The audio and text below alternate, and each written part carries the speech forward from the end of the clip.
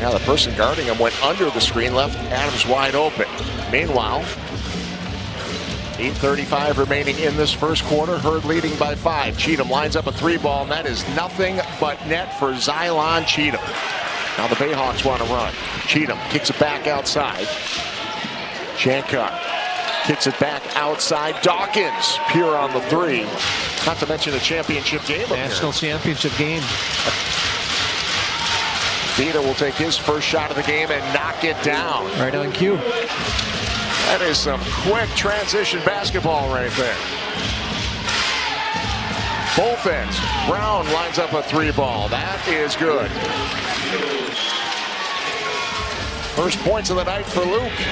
Now Chanchar will try a three and Holy hit the three. Are you keeping track how many in a row that is? Consecutive threes these two teams have put up. Do we have six? Do we hear six? Here it is, and it's good with the rebound. Blown coverage there by the Bayhawks, and they got away with one. Quick shots by the Bayhawks on the other end, and Dawkins hits the three ball. Big games in that series. Meanwhile, back to action. Vlatko Chanchar knocks down the three ball. Starting lineup all has double-digit performances already tonight in the early third quarter. That three ball is good. A much needed bucket for Dawkins. Now two of three tonight. Gray kicks it out. Chanchar knocks down the three ball top of the key. Gray working against Bender on the other end now. Move the ball around to Sullivan who will bury a three pointer. Much needed bucket for Erie. 55 seconds remaining in the third quarter. Jalen Adams misfires on that three. Chanchar will try a three on the other end and bury it.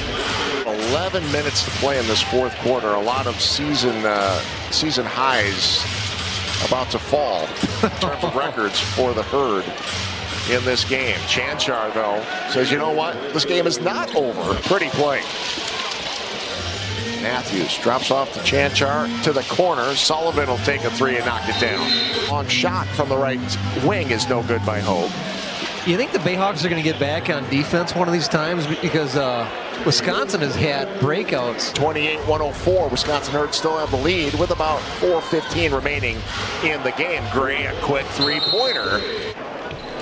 Yeah, Jordan Beasley is going to be pretty busy rewriting this uh, season record book for Wisconsin after this one.